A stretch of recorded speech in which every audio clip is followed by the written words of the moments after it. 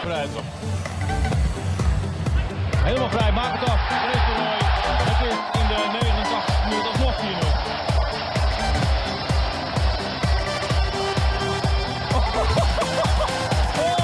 Ja, ik kan me het wel voorstellen. En dan krijgt hij